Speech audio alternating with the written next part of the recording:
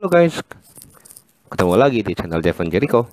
Um, kali ini gue mau ngasih lihat ke buat kalian yang mungkin jarang atau um, gak sempet ya, atau mungkin belum bisa nyelesain daily quest semuanya. Nah, itu gue sekarang hmm, lumayan rutin main tiap hari itu khusus untuk account yang satu ini yang uh, ID-nya uh, WHDU ini selalu nyelesain daily quest. Karena ini kan ada hadiah spesial nih. Nggak kalian yang kalau belum pernah buka belum pernah selesaikan mungkin nggak tahu isinya apaan gitu. Kalau gue sendiri memang udah main sekian lama karena sibuk mau nggak sempet jadi nggak pernah terbuka. Nah belakangan gue selalu buka karena gue lihat tinggal beberapa quest aja yang gue nggak gue selesaikan kenapa nggak gue selesaikan aja gitu gue habisin. Kayak treasure raid treasure raid itu kan gampang itu cuma lima kali uh, apa main di storyline. Terus mid autumn ini nggak usah dihitung ya ini lagi event aja. Terus M for hire itu untuk um, uh, uh, uh, uh, apa namanya itu bukan exploration. M for hire itu dari aduh apa namanya tuh ya ada di channel. Oh Leather of Glory ya. Itu di Leather of Glory. Kita selesaikan. Kalau kalian nggak mau cukup pakai ininya aja battle apa level passnya aja terus uh, exploration. Exploration udah pasti dapat lah gitu kan. Dua kali dua kali doang kok dua exploration doang dalam sehari masa nggak bisa gitu. Combine treasure agak hati-hati karena kadang kalau lagi sial itu bisa nggak dapat sama sekali. Satu pun nggak dapat gitu. Jadi um, dimulai dari yang paling gampang aja dari XP flash aja gitu.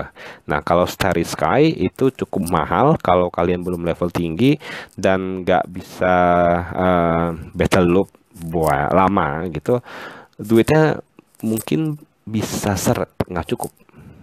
Karena ini mahal banget dalam sekali satu seri Sky itu bisa ngabisin banyak gitu ya. Ini seri Sky itu dapatnya dari aduh kok gue lupa namanya. Ah dari observatory yang di sini nih. Ya ini dapatnya dari sini. Oke okay. terus kita kembali lagi ke apa lagi tuh? Seri Sky sudah itu uh, ready for battle itu dua uh, dari trials. Itu setiap hari dimainin dari trials saya dapat terus guild donation buat yang nggak ada guild bisa join di guild gue. Um, kalau yang sudah ada dipastikan setiap hari kalian uh, donate. Ada di sini nih guild donation. Ini cuma murah kok. Cuma 4000 koin aja kan 4000 koin setiap setiap hari gitu.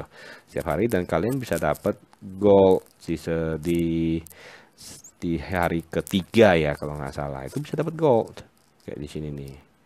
Nah ini kan sudah hari kedua. Nah ini gold donate nih untuk hari ketiga. Kalau kalian sehari cuma satu gitu ya cuma satu kali uh, yang silver coin 4000 itu kalian dapat bisa di hari ketiga bisa dapat gold. Kalau di hari ke 6 nya atau ke 7 nya bisa dapat sekitar 100 75 gold gitu loh. Jadi nggak ada ruginya. Uh, gold ingots ingots ini kan susah dapat. Gitu jadi pastiin aja kalian punya guild. Oh iya, uh, guild gue namanya Aspire. Buat yang belum punya guild silahkan join karena ini membernya masih anggota masih gue semua. Kemarin ada join satu itu dari dari negara Cina kali ya level 32 cuman last online-nya 23 hari yang lalu jadi dalam sebulan kalau nggak aktif-aktif lagi bakal gue kick out of the guild. Jadi so far anggota masih empat yang orang Cina ini nggak usah dihitung jadi masih ada empat baru empat masih bisa nambah 21 member ya jadi diingat nick uh, name of the guild is Aspire for anyone that hasn't joined any guild just click just search it okay? Dicari aja Aspire itu gampang nanti bisa di join gue mainnya uh, apa namanya daily setiap hari. Jadi kalau ada apa yang mau ditanyain bisa terus ada apa namanya tuh ada member cukup kalau sudah banyak gue bisa bikin animal festival. Tapi yang paling penting itu sebenarnya gue mau main di guild dungeon. Guild dungeon ini nanti gue bisa spend sedikit cuma 2000 2000 dari apa fame uh, eh, 2000 dari FM ini nanti kita main di Legendary Lubu karena kalau cuma gue gue doang yang main kan kayak sayang ya. Nggak belum apa namanya belum maksimal aja sedikit yang yang partisipasinya. Yang ikut main sedikit. Jadi kalau bisa tambah member tambah banyak orang yang main gitu. Uh, sedikit lagi sih. Dia udah bisa naik level. Jadi levelnya baru level 3 kalau banyak yang main banyak yang join banyak yang donate itu otomatis bisa naik bisa naik level juga lebih cepat gitu but that is not the one that I want to show you today jadi yang mau gue tunjukin hari ini adalah kita dapat apa sih kalau kita selesaiin dari chest setiap hari. Dari questnya kita komplit 9. 9 dari ini sudah selesai 8 ya. So it is 9 from 1 2 4 5 6 6 plus 8 mean 14. Jadi kalau kita bisa selesaikan 9 dari 14, hadiahnya apa sih? Gitu kan. Nah jadi gue hari ini uh, kali ini gue mau selesaikan yang 8 gate saja yang paling gampang. Jadi gue bisa saving time. Gue nggak perlu uh, apa kalian nggak perlu menunggu terlalu lama untuk lihatnya. Nah untuk 8 gates itu cukup gampang karena gue udah punya satu yang uh, exalted. Gue cukup pilih yang sesuai aja dengan karakter gue nah syaratnya adalah kita harus punya friend. Friend. Friend itu satu per satu kali uh, main satu stage gitu. Jadi ini karena gue satu hari cuma satu kali satu gates aja ya satu gate aja yang gue mainin. Jadi gue pakainya cuma satu teman aja sebenarnya nggak nggak sebanyak banyak nah cukup dua. Dua dari kita satu dari teman ya kan? Terus kita fight. Kalau kalian sudah punya exalted itu akan sangat membantu.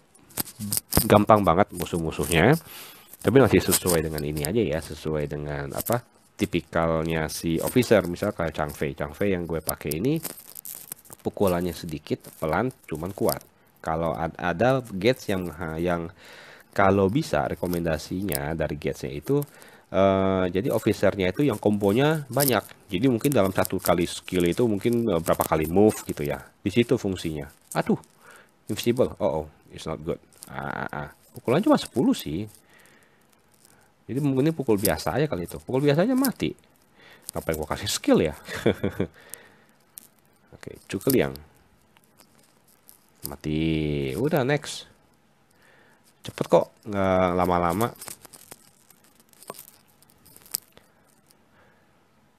Ting ting tung. Sudah kelar gitu. Kenapa nggak diselesaikan aja? Kalian kalau uh, apa udah main setiap hari tapi nggak kok selesaiin daily questnya cuma 9 ya kalian pilih aja deh yang gampang-gampang yang sesuai gitu kan.